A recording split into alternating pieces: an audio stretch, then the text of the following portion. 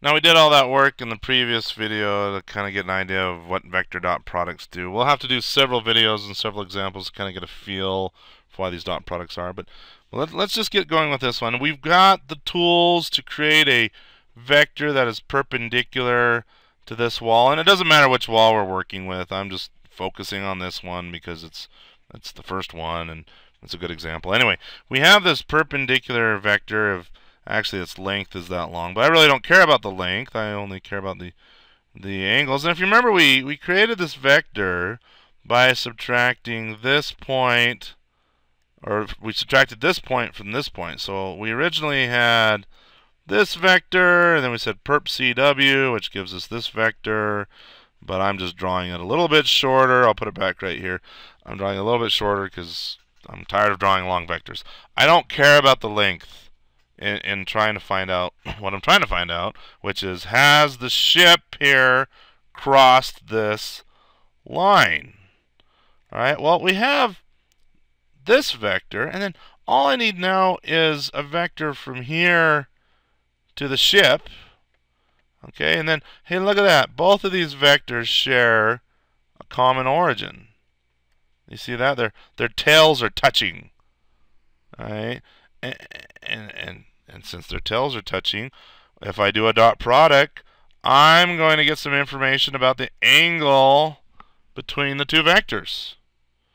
All right, now if I move my ship over to here, say my ship was, it could be anywhere in here. Let's let's put the, say the ship was right here. If I subtracted this location from this location, that would give me this vector. And so my angle would increase, but it wouldn't quite be 90 degrees quite yet. All right, and then let's oh, let's go just a little bit closer. Let's say the ship was right there instead. All right, well, again, I could subtract, do a dot product, and and my angle would still be positive. Okay, but then let's say the ship the ship just crossed. Okay, the ship is right here instead. Okay, let's go right there. Well, now my angle has gone greater than 90 degrees, or greater than pi over 2 radians. And I know that my ship is in a bad spot. This is an illegal position for my ship to be.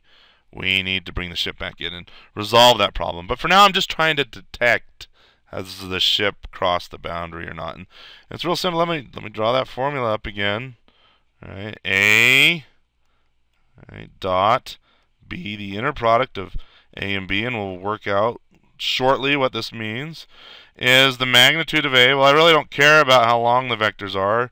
In other cases we will, but in this case I don't. I don't I don't care how long they are. Only thing I care about is the cosine of the angle between the two vectors. And I don't even care what this value is. The only thing I'm interested in is is it positive or is it negative? All right, so all I have to do is take the two vectors. I have the perpendicular one.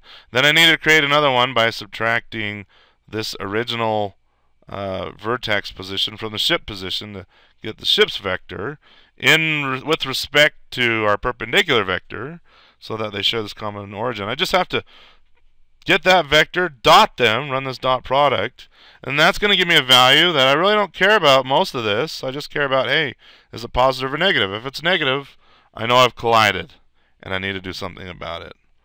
All right, so so all we have to do now is, is write out the vector dot product and, uh, and, and let's do it.